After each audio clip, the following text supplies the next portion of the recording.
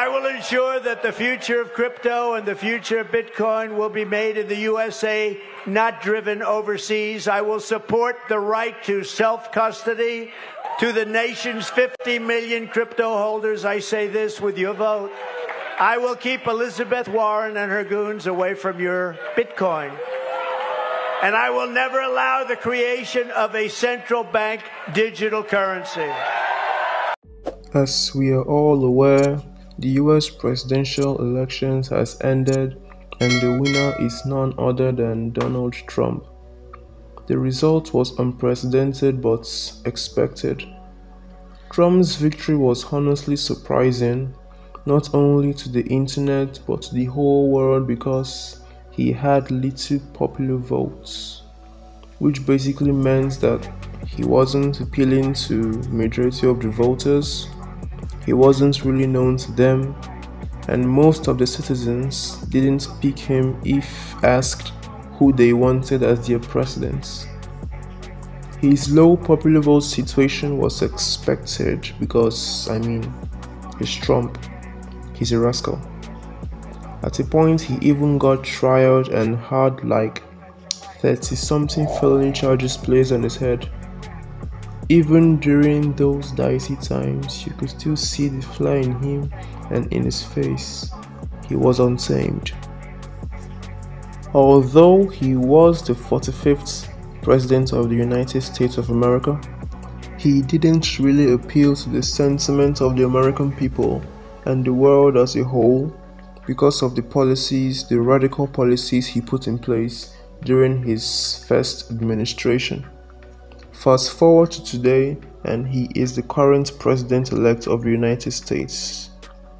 If we've had enough of Trump, let's take a look at the defeated opposition, Kamala Harris. During the Biden administration, she was and currently is the vice president of the United States. She did what she could to assist Biden and rule the country because, well, that was her job and her superior Joe Biden wasn't doing so well.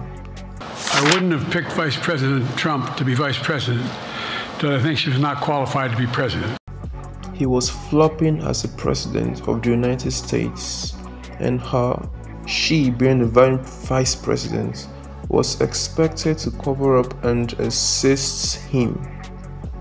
Well, like I said, she did what she could. As opposed to Trump, she had some serious skyrocketing popular votes with the American people.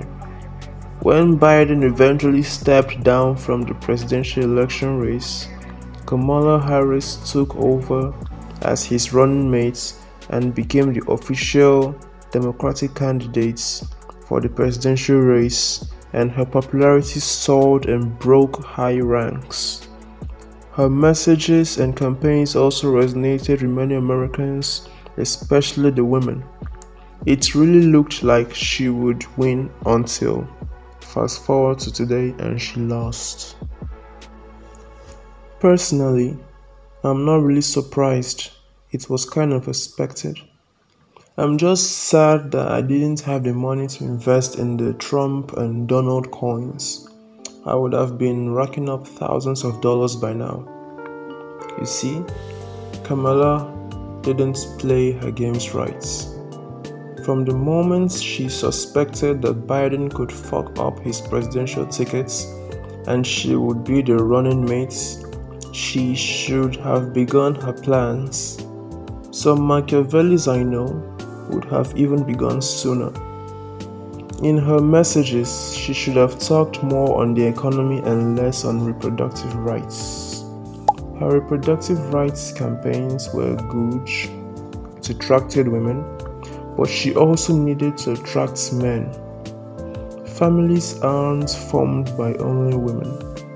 She could have spoken on topics that aroused the eagerness in men to see reason in her words and give her attentive ears.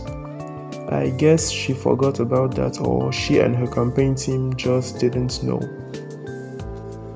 Trump, on the other hand, understood this about the campaign and played his cards right by allying with the likes of Elon Musk and Joe Rogan, who are very influential in men's circles and in the internet. He also occasionally made speeches and comments that would appeal to the women too, although he was a bit vulgar. In Springfield, they're eating the dogs, the people that came in, they're eating the cats, they're eating they're eating the pets of the people that live there. You see, Trump understood the game and knew that all publicity is good publicity. So he made sure he did things, went with the times, and made speeches that would always put his name on news headlines and in the minds and the mouths of the American people.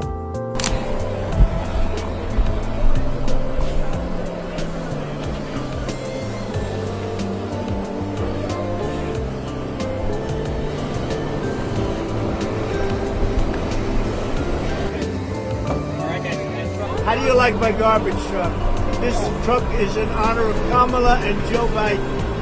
And Joe Biden should be ashamed of himself if he knows what he's even doing. And she should be ashamed because she shouldn't let him do it. She's the vice president, but I assume she's acting as the president. She should never have let that happen. Currently, the elections are over and people are back to their normal lives. I really hope the winner, Donald Trump, lives up to the hype he has built around himself and his future administration. No, no matter and notwithstanding, however, the internet reacts to the result of the election, only the American people truly understand and feel how America is and how the economy is. So, if Trump comes on board and runs the economy well, the American people will be very much appreciative. Subscribe, like, share, live.